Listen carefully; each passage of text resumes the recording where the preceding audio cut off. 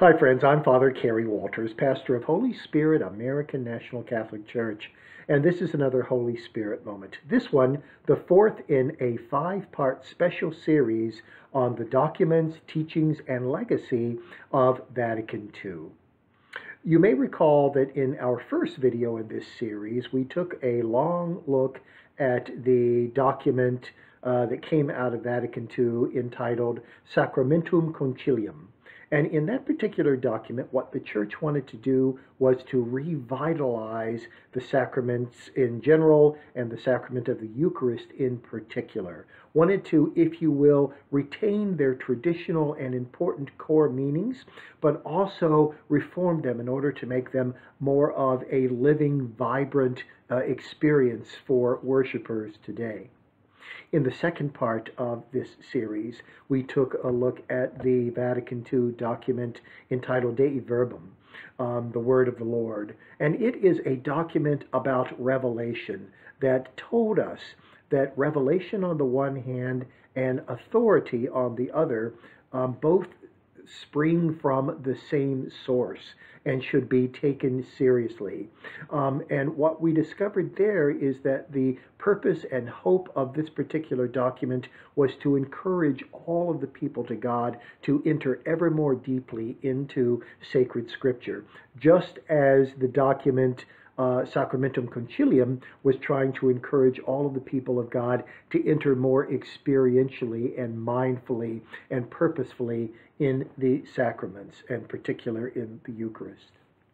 And in the third of this series, we looked at the Vatican II document entitled Lumen Gentium, uh, the light of the world. Christ is the light of the world, but it is the mission of the church to bring that light of the world to the world.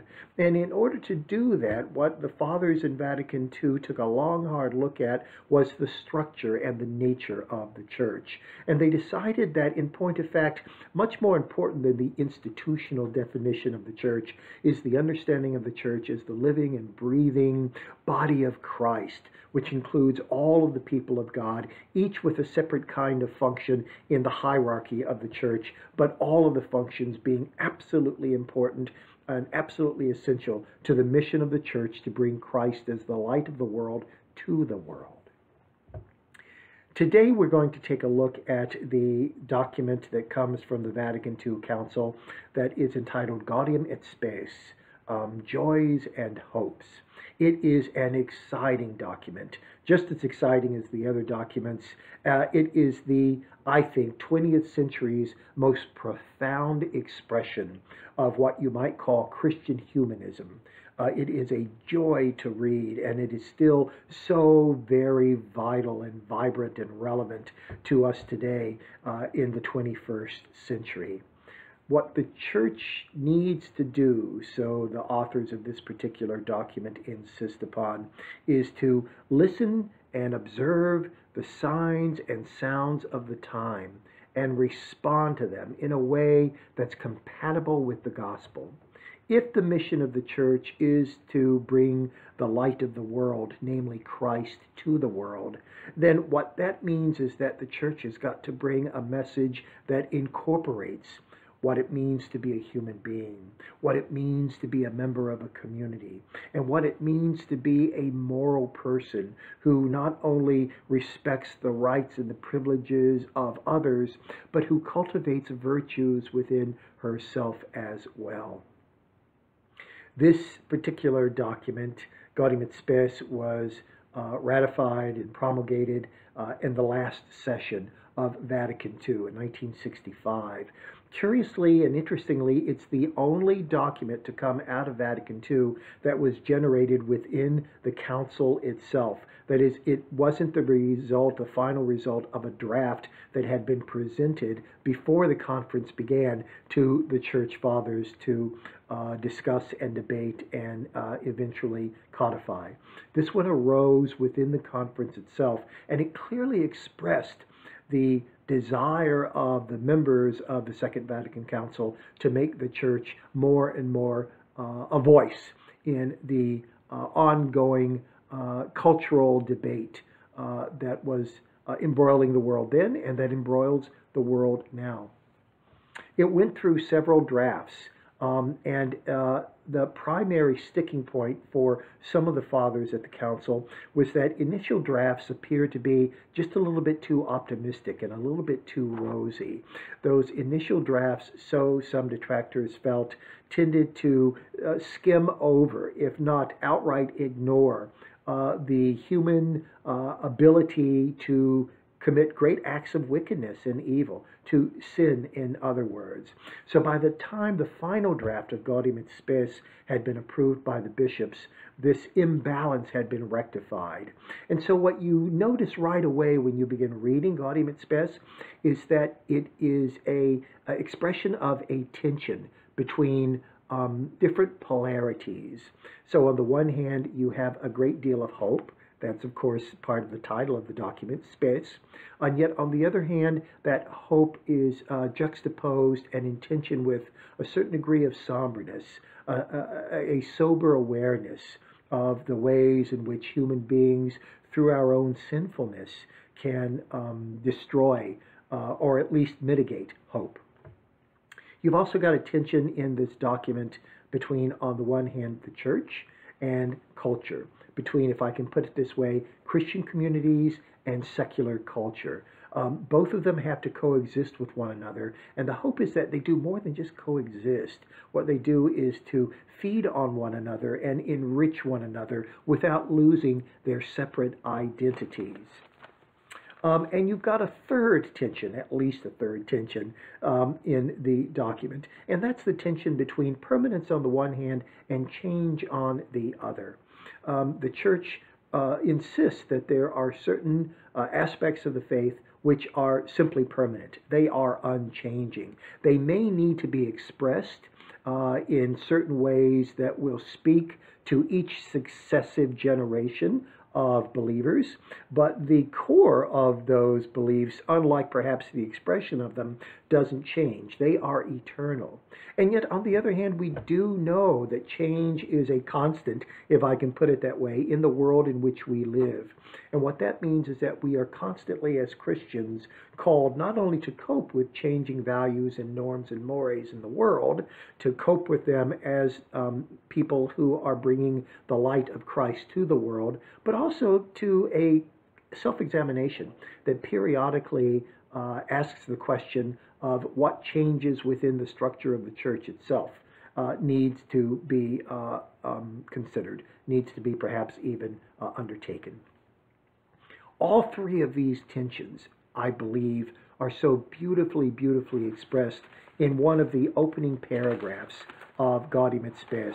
Let me just read this to you because it really is um, quite uh, lovely, uh, uh, but also uh, sets the context for everything that follows. This is in uh, paragraph 4 of Gaudium et Spes. Never has the human race possessed such an abundance of wealth, resources, and economic power, and yet a large part of the world's population is still racked by hunger and need, and very many are illiterate. There's that hope and that somberness tension, yes? Never has humanity had so intense a feeling for freedom as today, but new forms of social and psychological slavery are on the increase. The world is keenly aware of its unity and interdependence in essential solidarity, while it is seriously polarized by opposing forces. And in fact, bitter political, social, economic, racial, and ideological dissensions remain, together with the risk of a war which will annihilate everything. So you not only have that tension um, um, that I mentioned earlier, but you also see the tension between change and permanence and Christian communities and secular culture being encapsulated in this particular paragraph. Keep in mind the historical context in which this document is born and from which it emerges.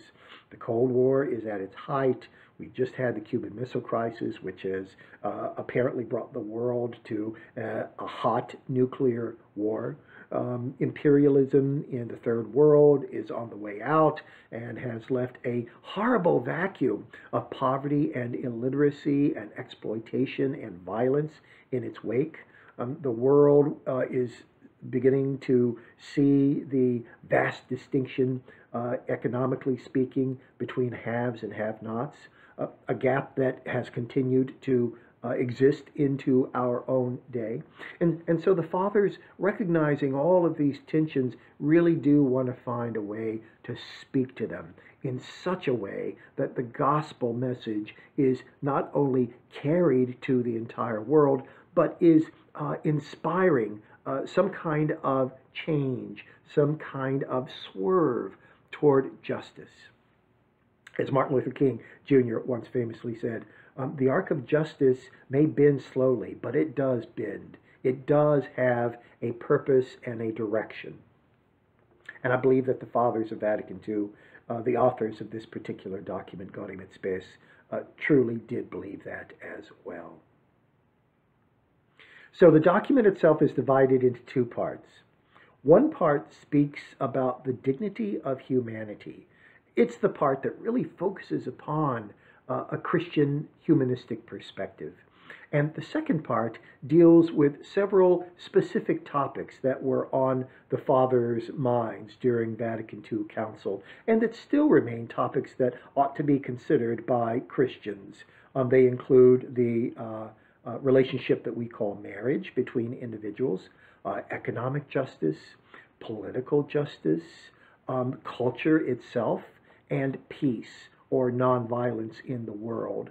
And each one of those different specific uh, problems, different specific areas need to be approached through the lenses of Christian humanism as outlined in the first part of this document.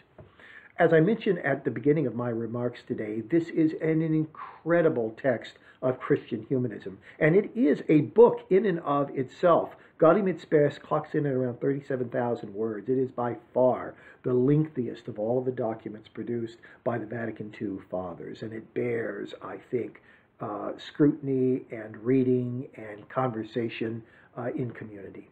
So, What's this jazz about the dignity of the human person?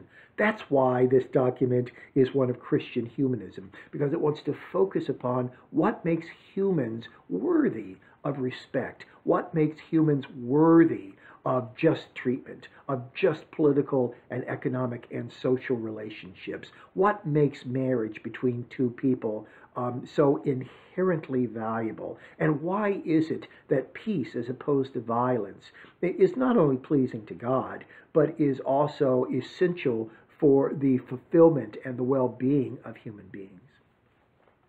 Well, et Spes says this Human beings possess an inherent dignity because we are made in the image and the likeness of God. We possess within ourselves um, certain uh, dim reflections, but reflections nonetheless of divine qualities, such as rationality uh, and goodness.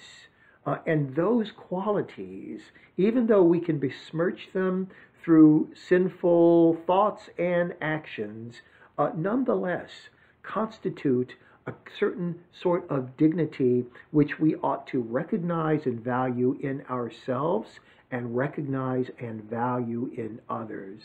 That's why we can't treat people as objects, because we are made from the sheer vitality that lies behind all of existence. And if we forget that, then we run the risk of becoming subhuman ourselves or treating others in a subhuman kind of way. And the moment we do that, we have ventured away from Jesus' gospel message of freedom, of liberation, and of eternity.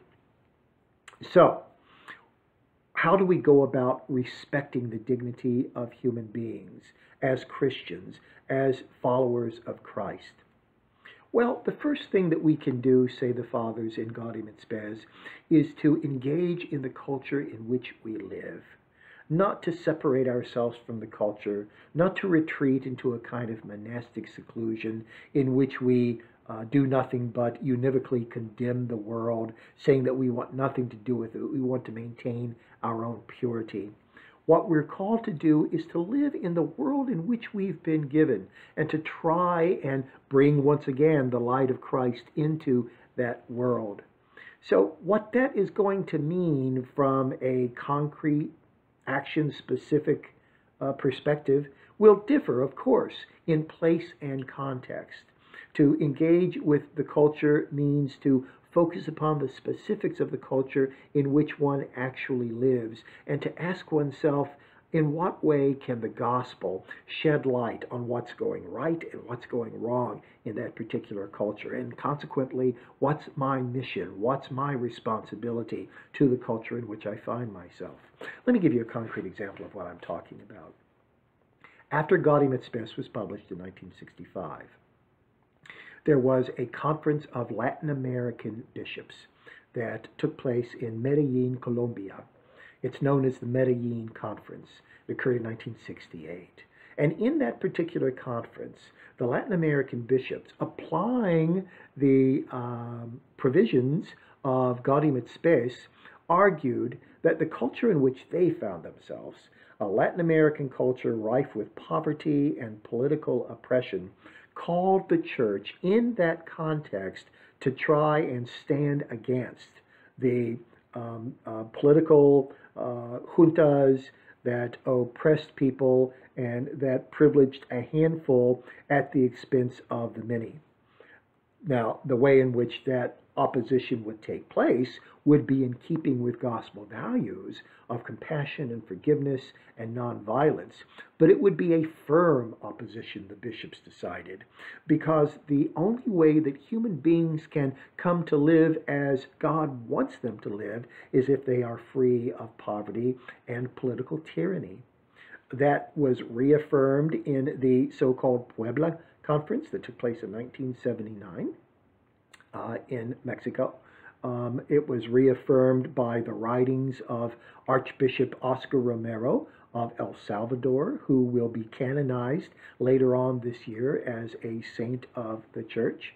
Those are examples in which the um, insistence in Gaudium et Spes that we need to respond to the culture of our times in a way that's appropriate to the gospel that Christ preached uh, can manifest itself, can illustrate itself in contemporary United States. How might that manifest itself? How might we engage with the culture in order to bring the light of the world to American society? Well, that, of course, is an ongoing conversation, isn't it? But what we certainly would, I think, want to avoid is the polarization that the culture now finds itself in between liberals and, and uh, conservatives on the one hand, between Christians and non Christians, between haves and have nots. I think all of us can agree that in the last few years, American culture has become so divisive and so uncivil that um, gospel opportunities for reconciliation abound, even though the reconciliation may be much harder now than it ever has been in the past. Respect for the dignity of human beings, respect for their freedom, and respect for individual conscience uh, is what underlies the Christian humanism of Gaudium et Spes. Uh, the fathers talk at some length about conscience, and it's a discussion I think that is well worth revisiting again and again.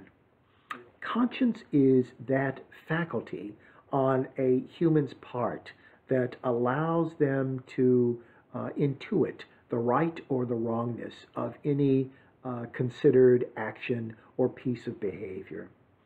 And the church has always held that a person who acts out of conscience uh, is a person who is doing the right thing, uh, even if the, that act of conscience seems to militate against convention. But the rub, and this is something that Gaudium et Spes reminds us of, the rub here is to make sure that the conscience is well informed. Because since we are creatures who are liable to sin and wickedness, we can easily fall into the trap of self deception or rationalization. And as a consequence, what we think is the call of conscience can be nothing more than the call of self interest. So, one of the ways in which the Christian relies upon his or her conscience in responding to the world in such a way that we respect the dignity of the people in it is to prayerfully be mindful of all of the influences upon us that can disguise themselves as the call of conscience. That's a really important thing that we have to keep in mind if we would truly respect, as Christians, the dignity of all human beings. What's the point of all of this? Well, the point of all of this, of course, is to spread the gospel, to spread the good news throughout the world. One of the beautiful things about the documents of Vatican II is that they really are all interlinked, aren't they? Excuse me. Um, that uh, just as we want to open up the liturgy to all people in order to include the world in a more mindful way, uh, a, just as we want to recognize all members of the body of Christ, so now we want to recognize the dignity of all human beings and to bring that conviction into the world and to translate it into actions that uh, remind us of the sanctity of marriage and the need for economic and uh, political justice and the need to overcome our tendencies, our sinful tendencies on both the individual and the institutional or systemic level to resort to violence. Uh, the document Gaudium et Spes, I think, sums up this sense of mission really well in paragraph 40. Let me just read it for you. The church pursues its saving purpose, its mission, not only by communicating divine life to humanity, but also by reflecting the light of that life throughout the world, particularly in healing and ennobling the dignity of the human person strengthening the fabric of human society, and investing the daily activity of men and women with a deeper sense and significance. We've already spoken about two of those three purposes respecting the dignity of human beings, strengthening the fabric of human society, which is a consequence of respecting the dignity. Let me just close by saying a couple of words about the third purpose that the Fathers outline in paragraph 40. That is, infusing in our daily activity a deeper sense of significance and purpose. There are two different ways to think about what it means to be a human. Or perhaps I should say two different polarities of ways to think about a human being with any number of intermediary ways of thinking. One way is to think of human beings as nothing more than biological creatures who are accidentally born and will at some unspecified time in the future die. That there is no overarching meaning to either human existence or the universe. Uh, that we are not really much different uh, from any other organism that exists on the face of the earth. We may have um, greater cognitive capacities, we may have opposable uh, digits, but in the end of the day, uh, we have no more significance uh, in the universe and to the universe than any other organism. That's one way of thinking about us.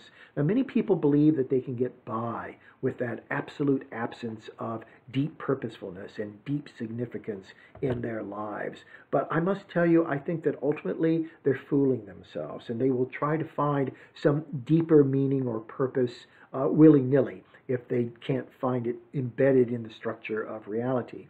The other polarity, of course, is the opposite of that, and it's the uh, view that not only Christians hold, but many other people hold as well who subscribe to different religious traditions. And it is the heart of the Christian humanism that Gaudium et Spes is preaching. It is the assumption that because we are made in the image and the likeness of God, and because all of the universe is created by a God who then declares it good, that our lives are infused with deep, deep meaning that goes way beyond our individual existences, that somehow taps into the meaning that is part and parcel of the universe because the universe is made by a benevolent and providential deity. In acting as Christians in the world, in trying to do something about the different evils that individuals and societies can suffer from. What we want to make sure that we do is not only uh, alleviate as best we can material poverty and political and economic injustice, but what we want to do is to vitalize spirits. What we want to do is to somehow help people to recognize that their lives are of deep, deep purpose and significance, and that that deep, deep purpose and significance is there because it taps into the existence of an all loving, all powerful, and all knowing God. That is the ultimate source of all of our joys and all of our hopes, of all of our gaudium et spes. I'm Father Kerry Walters. This has been the fourth in a five part series on the documents and teachings and legacy of Vatican II. And we will finish this series by looking at two documents that haven't gotten as much attention as the four constitutional ones that we've covered in the first four segments of this series, but which I think are vitally, vitally important. And then we'll also take a quick look at the legacy of Vatican II. Thank you so much for joining me, and I will see you next time.